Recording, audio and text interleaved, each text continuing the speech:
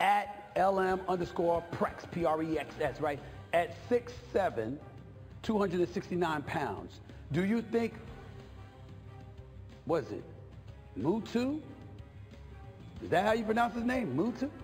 Mewtwo could beat LeBron in a game to 21. Oh, shit.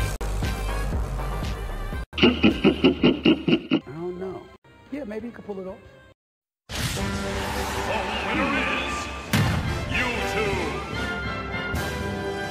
For watching the video, subscribe, hit the bell, maybe give this a share.